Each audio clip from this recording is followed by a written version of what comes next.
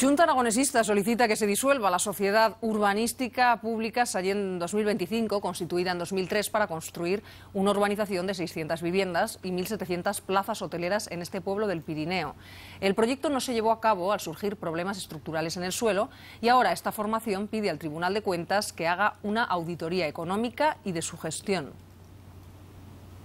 En este momento es la puntilla económica para un municipio, pensad que un municipio con un presupuesto de en torno a 3 millones de euros eh, arrastra a esa sociedad una deuda de 10 millones, 10 millones de, euros eh, y eso evidentemente es una losa pesadísima para el futuro del Ayuntamiento de Sallén.